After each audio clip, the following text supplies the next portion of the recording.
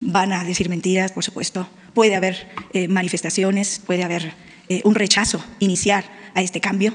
Todos los cambios de régimen así lo presentan, o los cambios importantes, las transformaciones. Y para transformar, evidentemente, hace falta la reconciliación. Y espero que todos en este gremio, nuestro gremio periodístico, un gremio noble, que también requiere la autocrítica y el saneamiento en general, pues participe de esta transformación y de este cambio. Pues, Notimex es una agencia del Estado, no del gobierno, y está utilizando recursos públicos para agredir a periodistas y youtubers críticos. Eso ha generado un daño en la imagen del presidente a quien se le responsabiliza por las agresiones suyas. ¿Qué opinión tiene al respecto, por favor?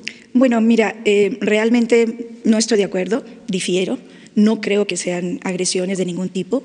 Eh, yo antes que funcionaria soy ser humano y también tengo que defenderme. A través de las redes sociales he recibido todo tipo de amenazas, de insultos, de ofensas. Por eso decía que el camino que uno toma con compromiso social, como es el combate a la corrupción, no es, no es, eh, no es popular.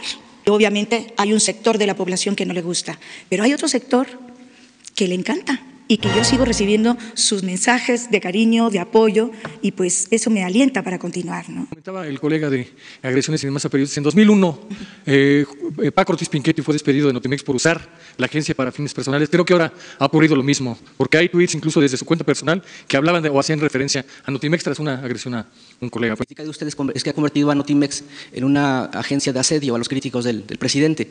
Eh, ¿Esto se lo pidió a López Obrador o usted, eh, que era tan independiente antes, ahora eh, ha decidido... ¿Me puede dar algún, algún ejemplo del asedio? Por ejemplo, entrevistar al, al enemigo del periodista Carlos Domínguez para que hablara mal de él. Por ejemplo, hacer esta investigación sobre los, eh, los becarios. Pero usted me pide que Permítame no terminar aquí. Ah, okay. esta investigación sobre los becarios de, del FONCA, que, eh, que finalmente no, no, era ilegal, tenía que haber investigado en todo caso al jurado, a las autoridades, a Consuelo Sáizar, eh, a los anteriores, pero usted no lo hizo, usted se fue sobre los críticos. Son ejemplos.